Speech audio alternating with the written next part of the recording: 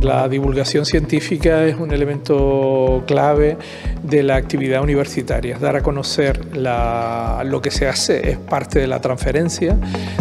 Todo lo que han aprendido estos chicos, hacer el esfuerzo de contarlo a todo el público que estaba hoy aquí, yo creo que es un aprendizaje súper poderoso que además le va a acompañar a lo largo de toda su vida académica y profesional.